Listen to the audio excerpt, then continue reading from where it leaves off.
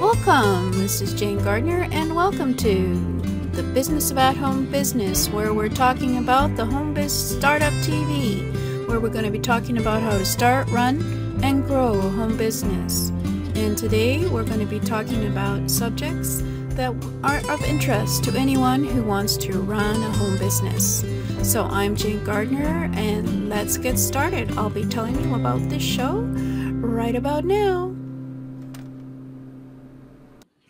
Hi, this is Jane, and it's World Domination Wednesday today, which is all about your customer. So, yes, we already have looked at who is your customer, and you've already had a look at defining who your customer profile is. And now we're getting on to giving your customer what they want. After we defined what your customer wanted by looking at who your customer is, now we want to give them what they want by making a sale. So this is going to be the harder part here, but we're going to go through it and start from the beginning. I'm Jane Gardner. I work with my husband for 20 years in a structural engineering firm, and uh, we live over in Western Canada. And I did these um, we're going to be talking about defining what your customer wants. So we went over that for the last four weeks, defining uh, how you can research what you customer may want from you, but more importantly, who they are, and so that you can uh, give them the solution that they want. And then now we're going to be talking about making a sale, about giving your customer what they want. After that, it's keeping your customers and then keep growing your business with having more customers as your own customers make uh, them themselves your raving fans and talk to everybody else about your service and custom and solutions. So today we're going to be talking about who are your customers? We've already talked about, but your customers are those who want your solution to their problems or they want your solution to fulfill their desire. There is 3.4 billion internet users online today, and for those of you who have an online business, I'm sure once you define your ideal customer profile, you'll be able to find your ideal customer and give them their solution after you have figured out the messaging in order for them to understand who you are. So we looked at for the last four weeks some of the res research that you can do to define your ideal customer for your product or service. We can look at your demographics. We can look at the geographics of an audience. We can even look at the psychographics, cultural uh, information about an audience. We can go into media and find out more about your audience, whether it's on social media or magazines or government research or white papers. And then on the last day, we looked at the purchasing behavior of your customers and some of the places like Facebook where you can go and have a look for them and see what they're spending their money on. And so you can decide how you can also attract them to your solution by finding out what they purchase. So you can see some of those episodes at jgtips.com backslash YouTube. I have a playlist called Solopreneur Success Strategies, and all of my shows are in that playlist. So you can just go back and uh, have a look at the previous episodes on finding your ideal customer by looking at the research that you can find about them. So, as I mentioned, your customers are those who want your solution or they want to be able to fulfill their desire. Or if it's a problem, well, it's all about the problem as well. But today we're going to be looking at, before we decide how we're going to actually sell to your customer, we're going to look at first how do you design an ideal customer experience. Now, if you've been on my um, Get Your Message Out Tuesday, we've been talking about you and your brand and how you and your brand is being defined by who your customers are and what your solutions are. And one of the things that you need to be able to do is get an ideal customer experience where they experience your brand, which means they're experiencing you and your messaging.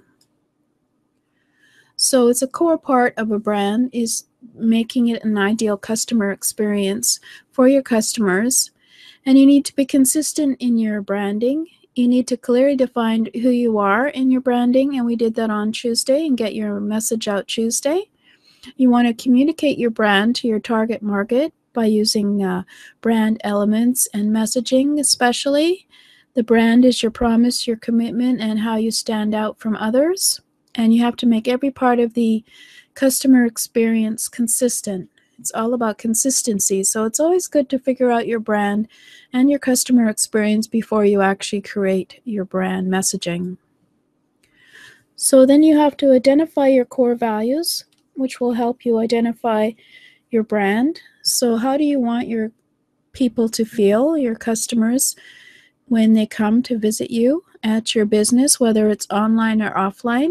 What kind of relationship do you want them to have with you? Do you want to be remote or do you want to be on video like I am?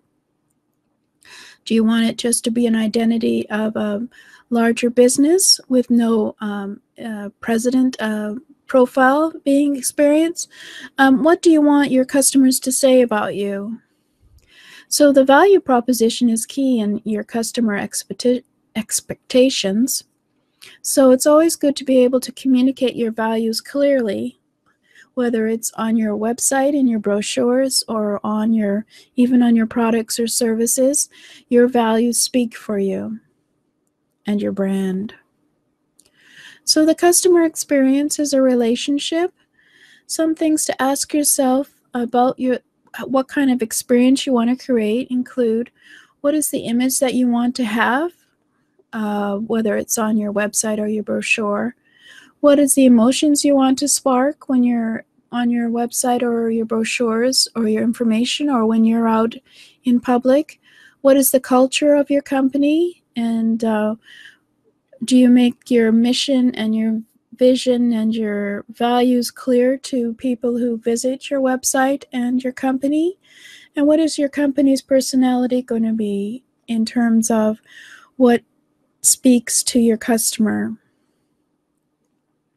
For example, um, Apple is one company that has a real personality and it makes it clear what its personality is.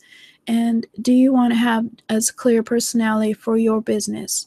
The more you personalize the experience and make it a relationship, the easier it is to make it an ideal experience for the customer. So, also, some of the small factors that may contribute to your brand image include your graphics, whether it's on your packaging or on your on your website, and it's the company culture and the appearance of your employees who uh, represent you, uh, whether it's on the website or in real life, at conventions, etc. So you have to remember all of this in terms of your customer experience. If your employees are rude to a customer, then you're going to be losing a few customers. So you have to be sure that you know what you want your customers to experience when they connect with you for the first time and for the next time, for each time. So some specific things that could make you unique are the unique traits that uh, why your customers chose you over your competitors. So, what's the specifics about you that make you unique in your business? This is something called your unique value pro- proposition, which you have to work on obviously by looking at your competitors as well as what your customers might be interested in in terms of defining what your uniqueness might be. And this is what we discussed on Get Your Message Out Tuesday about uh, be differentiating from your competitors and making yourself unique. So, of course, besides working that on yourself, you can always ask your customers directly what makes you unique. Because the customer experience is always emotional, so you have to remember that and remember that you have to be consistent in your appearance, in your branding, in your experience for your customers as they journey through your business you have to make sure that you know what kind of emotion you want for your customers to experience. So, a good customer experience will always trigger emotions that positively affect them and inspire loyalty in them. So, you've got to remember to make sure that your website is all built correctly and there's no lost links and that it's very easy to get a hold of you when there might be an issue by a customer in terms of getting in terms of customer service, um, as well as, of course, when you're out in public, how you how you react to people who are your customers. So you have to remember that it's always emotional for the customer and that the great experience will have to exceed their expectations in order for them to become your raving fans. So they have a wow factor if you exceed your customers' expectations through small details. So if you make it easier for them to buy something, for example, on their website or find something, or you communicate with them on a regular basis and you're giving them a few um, discounts because they are loyal customers. These kind of things will delight your customers and anticipate their desire to actually uh, experience more of you as a business in terms of purchasing more from you. So that is also another very simple thing you might want to consider is how will you be able to have different products for your customer to continue to buy from you again and again. It's much easier to get a customer to buy from you again and again than to get a new customer who will buy from you. The first time a customer buy from you, it is supposed to be the best, easiest experience for them. They will become um, more um, more of a raving fan by coming back and buying from you again and again if you have opportunities for them to buy and buy from you again. So this is some of the things that you have to think about before you even consider putting something up for sale. How do you make the experience easy for your new prospect to come in and uh, communicate with them and even maybe have some preliminary free offers or coupons or discounts for them so that they can purchase at, at a future date and, and become uh, into a deeper relationship with you. So these are the, some of the things that you have to think about before you even design a website or a sales page. We've been discussing about um, what are some of the things you first you have to start to think about as to how to make it a very easy ideal experience for your customer to come to your website or come to your your business, uh, whether it's brick and mortar or whether it's online, in order to communicate and connect with you. So next week we'll be looking at um, selling and some of the ways to make it easy for your customer to come and buy something from you. That would always be good. And uh, then after that, we'll be looking at the psychology of buying and some of the ways that I can help you uh, figure out how to make a sale more successfully. So, this is Jane Gardner, and I'd like to thank you for listening to World Domination Wednesday, and I'll see you next week. Please go and uh, check out the website at jane-gardner.com or jgtips.com backslash was it? What was it we're gonna do? I forget now. oh, it's it's WDW World Domination Wednesday is the website for the video. If you'd like to look over these uh, questions again, so that's uh, HTTP uh, colon backslash backslash JG tips backslash WDW which of course stands for World Domination Wednesday. Because of course for our customers we want them we want them to be our raving fans and be our customers and come and buy from us again and again. So I do have another uh, well, anyway, we won't talk about that at the other course setting up on um, how to make people your raving fans. But anyway, so this is Jane Gardner at World Domination Wednesday, and thank you for listening.